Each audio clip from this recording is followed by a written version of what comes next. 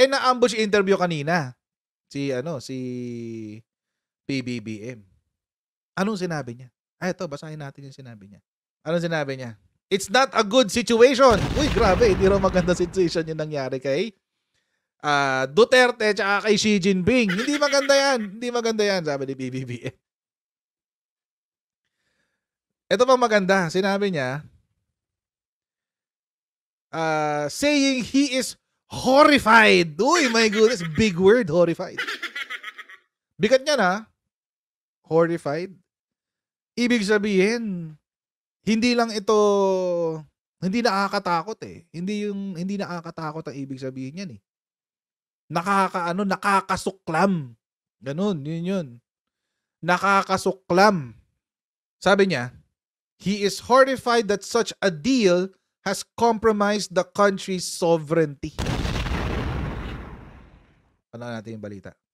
Ilarawan ni Pangulong Bongbong Marcos ang reaksyon niya sa sinasabing gentleman's agreement ng Duterte administration sa China kaugnay ng West Philippine Sea. Aalamin niya raw kung totoo ito kaya ipinatawag niya si Chinese Ambassador Wang Silian. Nasa frontline ng balita niya, si Maricel Halili. I am horrified by the idea that we have compromised in through a secret agreement the territory, the sovereignty, and the sovereign rights of the Philippines. The emphasis eh, no? Yung emphasis, guys eh, yung emphasis. I am horrified that we have compromised through a secret agreement. Ay, grabe, may mga ganon. Oo. So, eh, merong ano, may ine-emphasize niya na kung ba- ba- bakit, bakit ganun siya, bakit siya naiinis. O ba't siya horrified? It's not because of just an agreement. It's uh, he qualified it eh. Kinwalify niya as a secret agreement. Oo, bago tayo pumunta dyan, ay mag-shoutout muna tayo sa mga kaibigan natin sa Zedwave! Kung kayo ay nasa US, UK, Canada, Italy, France, Spain, Ireland, and Belgium, ay pwede pwede na magpadala ng inyong mga remittances sa Pilipinas gamit ang Sendwave at partida mga kotsero, walang remittance fees yan. Okay. Gagawin nyo lang, i-download nyo ang Sendwave app, gawa kayo ng account, ilagay nyo ba ang account details nyo sa Sendwave account nyo. At pwede pwede na kayo magpadala sa GCash, Cash Pay, at iba't ibang mga bangko sa Pilipinas. At kapag ginamit nyo pa ang kayong promo code na Coach Jarrett, ayan, ay makakuha kayo ng karagdagan $20 free credit. Gagamitin na sa Sendwave for all of your remittance needs. Alright. Eh di ba yung paliwanag nila, hindi, hindi, gentleman's agreement lang yan. Hindi yan secret. Alam nga ng lahat yan eh. Yung sinasabi ni Harry Roque, di ba? Tuloy natin. Ganito sinagot ni Pangulong Bongbong Marcos ang sinasabing gentleman's agreement na pinasok umano ni dating Pangulong Rodrigo Duterte sa China kaugnay ng usapin sa West Philippine Sea. Sa panayam ng media kanina sa dinaluhan niyang town hall meeting, giniit ng Pangulo na wala siyang alam sa sinasabing secret agreement. Wala naman daw kasing nagsabi sa kanya ukol dito nang umupo siya sa Malacanang. Ang problema pa, magkakaiba raw ang tono ng mga opisyal ng sinundan niyang administrasyon. From the former administration, iba-iba ang sagot eh. Sabi ng isang opisyal da, dating ah, dating government official ah, under the previous administration, there's no such agreement. Sabi naman ng isa, no, there is, and we should honor it. Sabi naman ng iba, maganda yan. Sabi ng iba, hindi maganda yan. Hindi pa namin alam kung ano ba talaga yung agreement na yan. Alam niyo, that's the hallmark of the Duterte administration. That's the hallmark of the Duterte administration. Totoo lang. Real talk lang ha. Sa mga nagsasabi na, ang ganda-ganda ng ano, Duterte administration. Oo, nung bulag pa tayong lahat. Maganda siya nung hindi pa natin alam yung mga detalye na nang nangyayari sa Duterte administration. This is the hallmark of Duterte administration.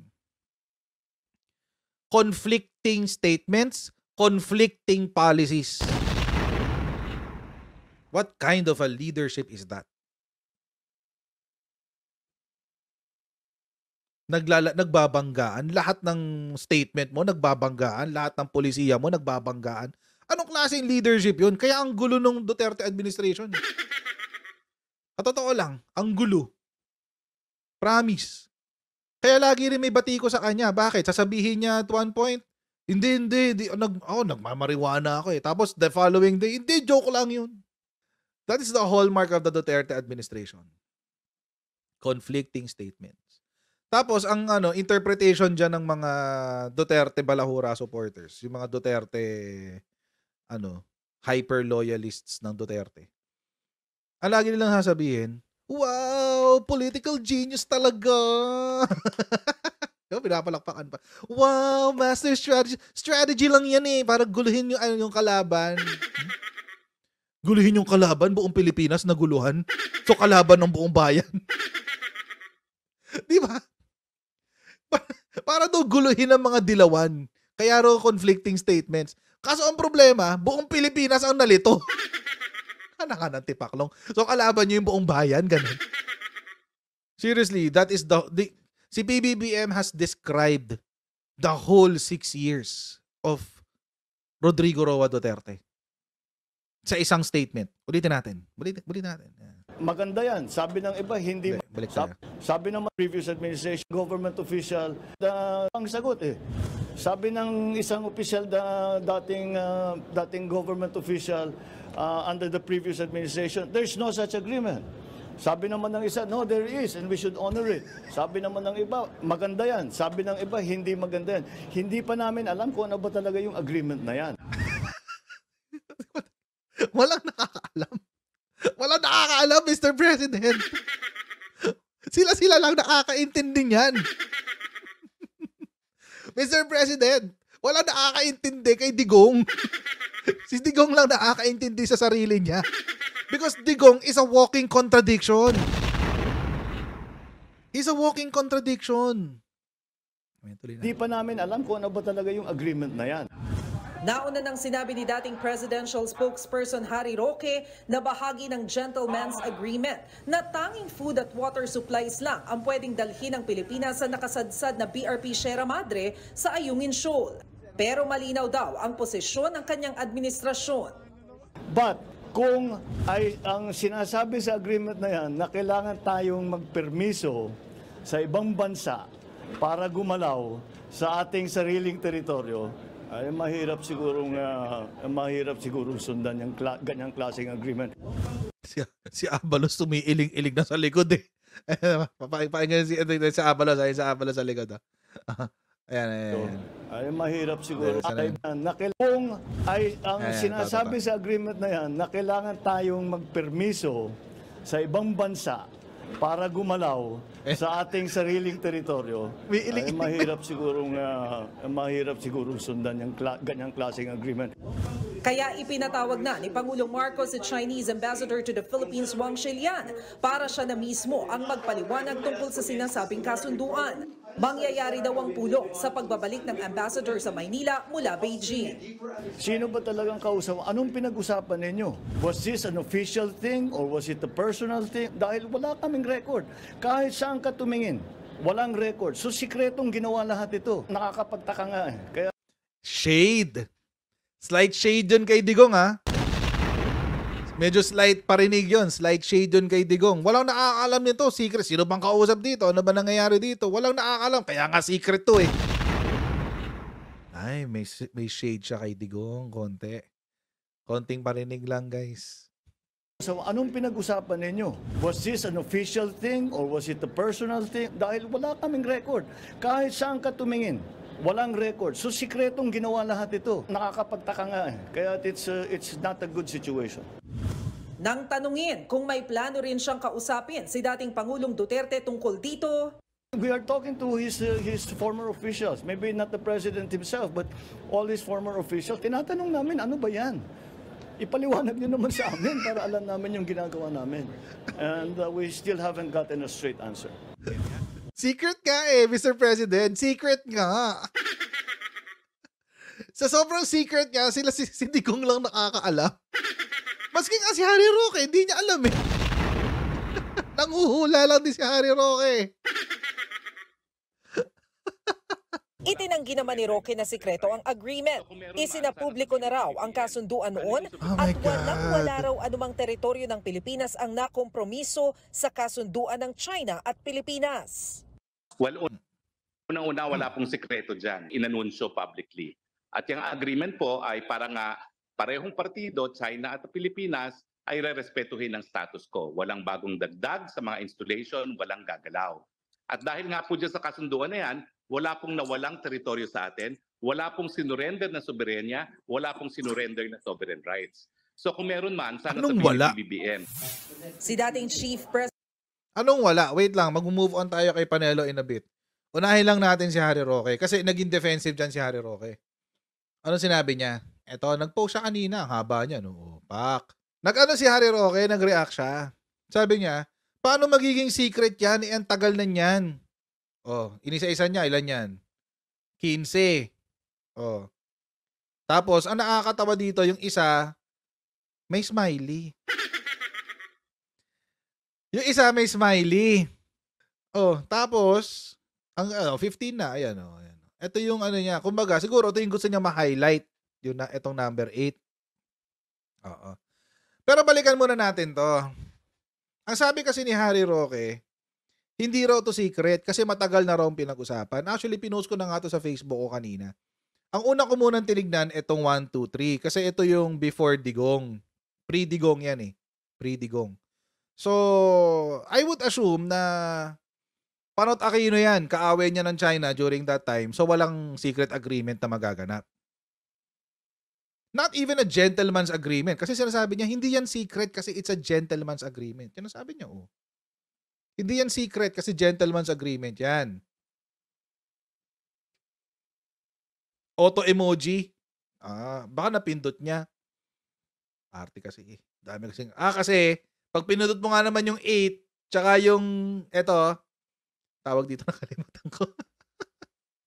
Anong tawag di parenthesis, nagiging emoji, tama tama tama, yung naka-shades, yung naka-shades na ano na na, na emoji, tama tama. O nga no. Makes sense. Thank you very much. We learn something every day. tama tama tama. Thank you, thank you very much. Thank you very much. Okay, anyway, going back, going back. Dapat pala pineriod na lang yan, no? 8 period. So, hinahanap ko, ito, ito, ito, ito muna yung first three. Yan, yan yung first three. Ito, hindi ko masyadong pinansin. Kasi ano lang to eh, allusion lang to an agreement eh. Ghostwriter's mistake. Allusion lang to to an agreement. So, hindi ko masyadong pinansin to number two. Ito ang pinansin ko talaga. Ito number one, tsaka number three. Bakit? Kasi mga kotsero, ang premise na sinasabi ni Attorney Harry Roque ay gentleman's agreement, hindi naman secret. Ito pong number one tsaka number three are not about um, a gentleman's agreement.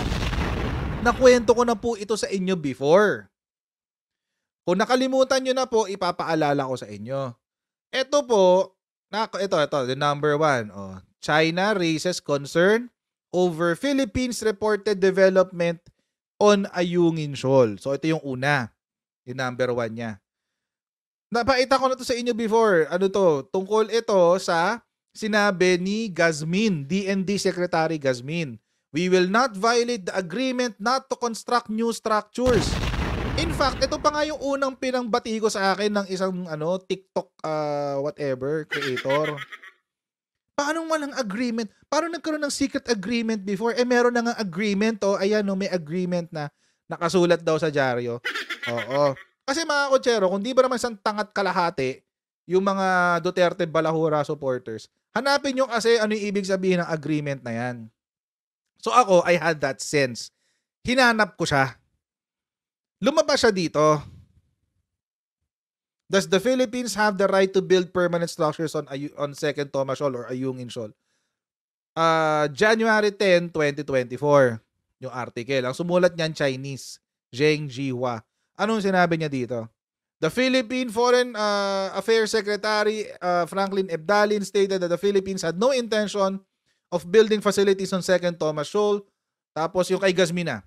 On June 19, 2013, the Philippines Defense Secretary Volter Gazmin discussed Second Thomas Shoal issues with Chinese Ambassador Ma Keqing. Ma raised concerns about the Philippine plans to build structures on the reef. In response, Gazmin assured Ma that there was no such plans. Ano yung agreement na sinasabi ni Gazmin? Ito oh, Declaration of Conduct November 4, 2002. Puntahan natin tong Declaration of Conduct na yan. Saan na yun? Ito, yung DOC na yan, mga kotsero, is a doc uh, declaration of uh, a declaration on the code of conduct in South China Sea. Ito yan, no? November 4, 2002. DOC. Kaya siya DOC kasi Declaration on the Code of Conduct of Parties in the East Sea, South China Sea. Kaya siya DOC. Yun ang short name niya, DOC. Ayan, no? DOC November 4, 2002. Oh. DOC November 4, 2002. So, paano to magiging gentleman's agreement? Eh, ASEAN document to. This is not a gentleman's agreement. So, mali na agad doon si attorney, ano, attorney Harry Roque. Hindi to gentleman's agreement. Actually, ang lagi nirereklamo sa atin ng China is yung Article 5. Ayan, no? Specific measures to promote and build confidence. Sana? Ayan, no? Are concretized in Article 5, under which a general obligation of states is to ex- exercise self-restraint, to refrain from actions that could complicate and escalate disputes and affect stability. It also clearly defines the occupation of islands, rock shoals, and uninhabited structures as conduct to be restrained. Ito yung sinasabi nilang agreement. So fake news dito si ano, si Attorney Harry Roque dito sa number 1. Sa number 3, mga kochero, mas ano yan, mas explicit yan. Sa number 3. Bagal ang internet ko. Ito yung number 3. DND holds off infra development in Pag-asa 2015. Ano nakasulat dyan? Ayan oh. Repair and maintenance is okay but we can but before we can move construction materials to Pag-asa, we have to build a port and doing so could change the landscape. It is not allowed in the DOC. Malinaw 'di ba? Declaration on conduct. Basic lang naman 'yan. Ibang babati ko sa akin, yung bagay na hindi nila ni-research. Tapos, yung bagay na ipinabati ko sa akin, ginamit din ni Attorney Harry Roque. Mali. Palyado agad. Palyado agad. Okay. So, 1 and 3, hindi gentleman's agreement yan. Hindi yan covered ng gentleman's agreement. So, sabi ni Attorney Harry Roque, eh sumunod naman daw ang mga parties dyan. Sumunod naman daw ang China dyan. Okay. Wala naman daw nakuhang teritoryo, wala raw nabawing sa wala raw nakuhang sovereign rights, etc., etc. I-debunk uli natin si Attorney Harry Roque. Take note mga kochero, itong agreement na to between uh, ASEAN and China ay nag-umpisa noong 2002 pa. 2002. Ayan, November 4, 2002. So dapat mga kochero, since 2002, sumusunod dapat si China Diyan sa agreement na yan, sa Declaration on the Code of Parties in the East Sea South China Sea, DOC 2002. Dapat ha. Dapat yan, dapat yan. Sumusunod sila dyan. May papakita ko sa inyo website. Ito. China Island Tracker. Napakita ko na rin sa inyo to before. Pero ipapakita ko lang ulit. Kasi, I want to emphasize a point. So, dapat sa DOC 2002, sumunod si China, dapat walang bagong islands, walang bagong construction, walang bagong kahit ano. Simula 2002 up to present. Di ba ganun dapat? Yun ang agreement eh. Yun ang pinag-usapan eh. Game. Puntahan ngayon natin to.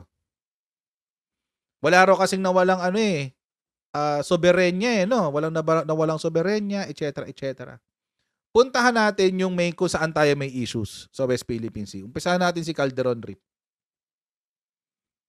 Atin to eh. Si Calderon Reef, ayan.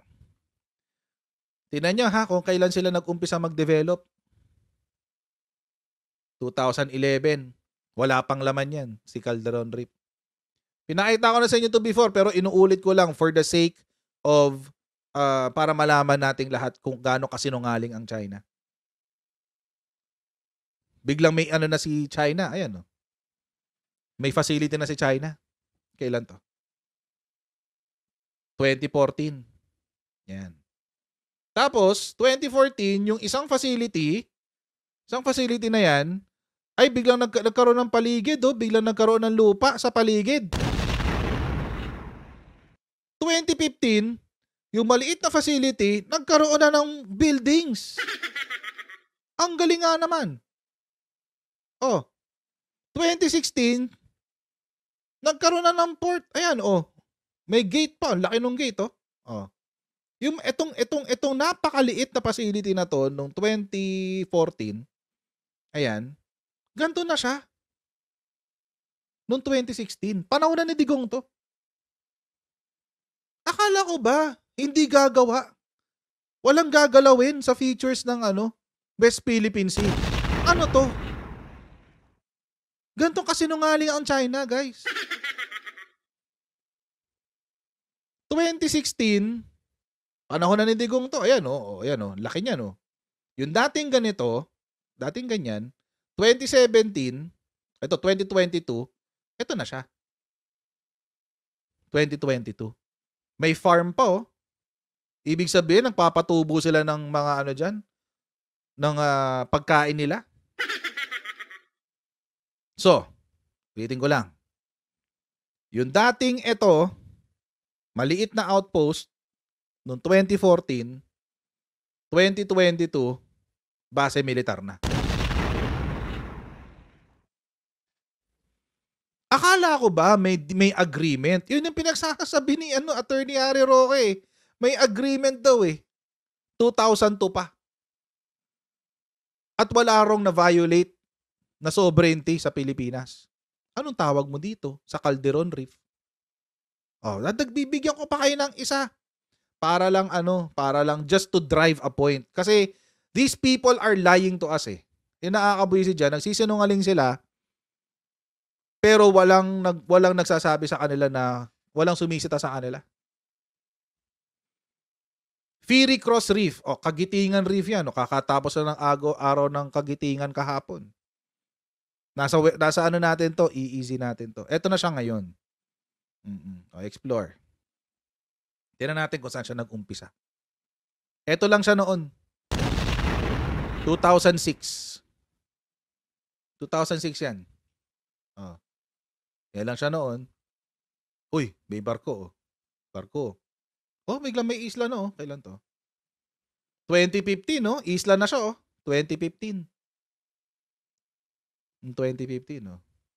Nagsimula sa ganito noong 2006 2015 eto na siya. 2015. Bago matapos ang term ni Panot Aquino. Bago pumasok si Digong. Oh, pumasok si Digong. After pumasok si Digong, 2016, 2016, 2016. May, uh, May 2016, okay, 2017, o 2022. Ito na siya. Base militar na rin siya. Wala talaga, Attorney Harry Roque. Walang na walang nawalang soberenya sa atin, kahit sovereign rights. Wala. Akala ko ba walang magbabago ng features? May, yun yung sinasabi nyo, may agreement na simula 2002 eh. Hindi nga lang siya gentleman's agreement. Mali pa rin yung claim nyo, hindi siya gentleman's agreement. It is an agreement between ASEAN and China. And it's not it's not a gentleman's agreement kasi may dokumento ka. Hindi lang laway ang puhunan dyan. May papeles. Ay, isa pa. Just to drive a point, mga kotsero. Kasi nga, ulitin ko, inuuto tayo. Ginagawa tayong tanga nitong mga mukong na politiko na to tsaka mga supporters nila. Ito, Burgos. oh. Okay. Ito, Mischief Reef. Atin din to eh. Mischief Reef. Philippines Panganiban Reef. Explore natin. G- ganto kasinungaling ang ano ang Chinese Communist Party. O eto lang siya noong 2012. Eto lang siya noong 2012. Ano na siya ngayon? Oh, 2020. Militarized na rin siya. Galing, di ba? So simula nung panahon ni Panot, actually may panahon pa nga ni GMA eh. Simula panahon ni GMA, panahon ni Panot, hanggang panahon ni Duterte, wala kayong ginawa. Tapos sasabihin nyo, sasabihin ni Attorney Harry Roque, wala namang nawala eh, wala namang nawalang soberenya, etc. etc. agreement po ay para nga parehong partido, China at Pilipinas, ay rerespetuhin ang status quo. Hmm. Walang bagong dagdag sa mga installation, walang gagalaw. Walang At gagalaw? dahil nga po dyan sa kasunduan na yan, wala pong nawalang teritoryo sa atin, wala pong sinurrender na soberenya, wala pong sinurrender na sovereign rights. See? That's a lie out. That's an outright lie, mga Ochero. Nakakatawa dyan eh. It's an outright lie. Nagsisinungaling tong mga hayop na to eh.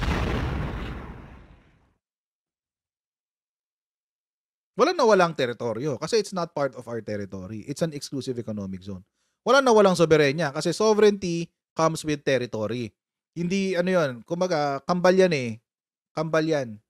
So walang mawawalang sovereignty. Kasi it's not our territory. But may nawala. Nawalang sovereign rights.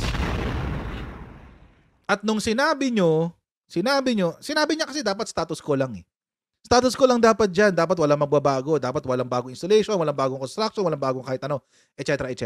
Eh kaso may nagbago eh. Imagine, nag-ramp up.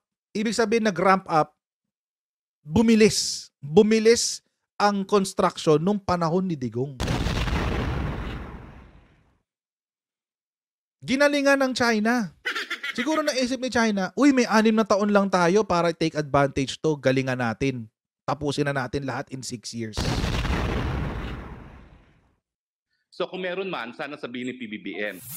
Si dating Chief Presidential Legal Counsel Salvador Panelo naman na dati nang iginiit na walang gentleman's agreement, hindi raw lalapit sa Malacanang. Tila nagpasaring din siya sa nagpalutang ng kasunduan. Okay. Hindi naman ako mag-reach out. Wha- What do I have to reach out for what? Kung sila nakikinig, sinabi na nga namin na wala. Nakikinig sila doon sa isang tao na ma- mahilig sa gumawa ng kwento. Eh it's their own lookout. Tsaka sila lang mismo nagsasabi na hindi, hindi sila sigurado. So if you're not sure of any circumstance, you don't make any reaction. Yan ang problema sa inyo eh. Tinan nyo, tinan nyo gaano ka mukong to si Salvador Panelo. Sorry, medyo, medyo ano yung salita ko ngayon kasi nakakabwisit na sila eh. Legit na nakakabwisit na sila. Hindi na cute tong ginagawa nila. Kakasabi lang niya kanina, ba't naman ako magre-reach out? What do I have to reach out for? Sabi niya. Ibig sabihin, ayaw niya makipag-usap. Ba't ako makikipag-usap? Ba, anong, anong dahilan para makipag-usap ako? Oh, yun yung sinasabi niya nung una. Tapos, in the same breath, sasabihin niya, kung hindi kayo sigurado sa circumstance, edi huwag kayo mag-react. Kaya nga dapat mag-reach out kayo para i-clarify nyo yung mga nangyayari at makapag-react ng tama ang gobyerno. Ang yayabang nyo. Ang yayabang nyo, promise. Ginagawa nyo ng tanga mga Pilipino, ang yayabang nyo pa. Ba't ako makikipag-usap dyan sa mga yan? Eh, naniniwala naman sila kung kung anong gusto nilang paniwalaan. Pero kung pinapaniwalaan mo yung gusto mong paniwalaan at hindi ka sigurado, huwag ka magre-react. Ha? Anong gusto mong gawin ng gobyerno? Nga nga? Kayo yung nakipag-usap. Ito yung nakakabwisit sa kanila eh. Tinan nyo ha. Si Roque mismo nagsabi, ay, shucks, napindot. Anyway. Si Roque mismo nagsabi, pinost kasi niya sa kanyang sariling, ano eh, sa kanyang sariling Facebook page. Etong huling-huli, yung 15. Yan. Tungkol kay Panelo yan. Ito yung sinabi ni Panelo. PH China modus vivendi of way or way of life. Valid even in the absence of a written agreement. So, ikaw mismo, Salvador Panelo, ang umamin na walang written agreement. Pero merong agreement. Tinan nyo gano'ng kasinungaling itong mga mukong na to. Hindi kasi kayo nag-usap. Mag-usap muna kayo. Tinan nyo. Si Panelo mismo nang sabi niyan. In a media briefing on Monday, i-highlight ko, i-highlight ko. Presidential spokesperson Salvador Panelo said he and then Foreign Affairs Secretary Alan Peter Cayetano have spoken of such agreement in the past. In the past. Anong klaseng agreement? Ito. The Philippine government has long been transparent about the agreement between President Rodrigo Duterte and Chinese President Xi Jinping to allow China to fish in the wat in Philippine waters according to uh, Philip Palace official. So may agreement nga. May agreement nga. Pero dito, ang dinisclose nyo lang, is yung sa fishing. Ito lang ang dinisclose niya yung sa fishing. At kasama, kasama ka sa nag-announce, Salvador Panelo. At ikaw rin ang nagsabi, ito yung nakakatawa sa'yo eh. Ito yung, ito yung problema sa'yo, Salvador Panelo eh. Mukhang sa inyong dalawa ni Harry Roque ko ay nagsisinungaling eh. Alam mo kung minsan ang mga heads of state, may mga word of honor ang mga yan. Kumbaga, kita mo, dati-dati, dati-dati hindi ba hindi ba hindi tayo na pinapayagan sa Scarborough? Are being uh, the Filipino fishermen are being sued. Pero after that, wala na. So ibig sabihin, ikaw mismo, ikaw mismo nagsabi na may usapan. Na wala lang terms, and- hindi lang sinulat ang terms and conditions. Usapang laway lang. You admitted to it eh. Ayan no. Sabi mo word of honor lang eh. Anong walang written, anong walang agreement? Eh, ikaw mismo nagsabi, meron. Baka nakalimutan mo na to, Salvador Panelo. Baka nakalimutan mo lang, 2019 mo to sinabi. July 1, 2019. O, nilaglag ka ng kasama mo. Kayong dalawa magkakampi, di ba? Harry Roque, tsaka Salvador Panelo. Kayong dalawa yung magkakampi. Kayong dalawa yung magkakampi dyan. Oh. Pwede naman daw i-invoke yan eh. Sabi ni Salvador Panelo. Alam mo, matagal na namin sinasabi yan. Kahit ako, sinasabi ko na yan na nagkaroon ng usapan. See? Kaya okay na doon sa Scarborough. Kahit si Secretary Alan Cayetano, sinasabi niya rin na nagkaroon ng usapan. Yun ang modus vivendi. Magbigayan muna tayo pero hindi ibig sabihin na we will invoke that pagdating ng panahon. What will you invoke? Eh wala nga kayong nakasulat. Anong i-invoke nyo? Wala kayong agreement. There's nothing to invoke. O ngayon, kalkal kayo. Nagkakalkal kayo ngayon ng ebidensya para patunayang mali si Harry Roque, para patunayang wala talagang agreement. Bakit? Eh kasi kayo-kayo yung naglalaglagan.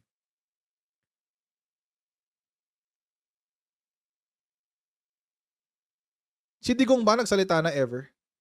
Hindi pa, di ba? It's always a spokesperson kung hindi si Mijaldea, si Harry Roque, kung hindi si Harry Roque, si Panelo. Silang tatlo lang. Never siya nagsalita. Bakit? Duwag eh. Bakit? Sister City eh. Wala na pala sa inyo Pilipinas. Totoo lang. Ginulo nyo lang ang Pilipinas. Tapos, binulag nyo kami doon sa build, build, build. Binulag nyo kami doon sa mga vloggers nyo. Ginamitan nyo ng mga ng mga labels na juris doctor, international relations expert. Binudol nyo kaming lahat. Tapos sisisihin nyo yung Marcos administration, sasabihin nyo, eh kung kani-kanino nakikinig si Bongbong Marcos eh. Ba't hindi kayo makipag-usap? Administrasyon nyo yan. Kalat nyo yan. Kabubuhan nyo yan eh. Tapos sisisihin nyo yung current administration na naglilinis ng issue na kayo nag-umpisa. Linis kayo ng kalat nyo eh. Mamin kayong lahat. Mamin kayong lahat. Kaysa inuuto-uto nyo kaming lahat, dadaanan nyo kami sa no comment, dadaanan nyo kami sa kung ano-ano kasi nungalingan nyo. Mamin na lang kayo. Kasi, kaming mga Pilipino, kaming lahat ng mga Pilipino na nasa matinupang kati, nasa katinuan pa, matinupang pag-iisip, eh bistado na kayong lahat sa amin. Alan Peter Cayetano, baka gusto mo magsalita?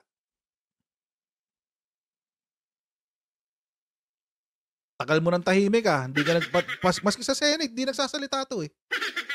Ano ba nangyari dyan? Buhay pa ba yan? Si Alan Peter Cayetano? Ano nangyari sa'yo? Hindi mo na nga binigay yung 10K, hindi ka pa magsasalita dito? Senator Amy, paano man gusto mo kausapin niya si ano, Alan Peter Cayetano? Kunin mo yung totoong kwento dyan. Ano ba talaga yung agreement na yan? Maraming maraming salamat sa inyong uh, pagsuporta sa ating channel. Please don't forget to like, share, and subscribe. And I'll see all of you in our next Coach Jared Live, guys. Bye, everyone. See you next time. Bye.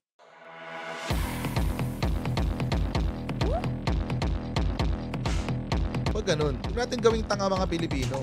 Mas maganda kasi nasa lugar ka ng tama kaysa yung pinipilit mo yung pagkakamali.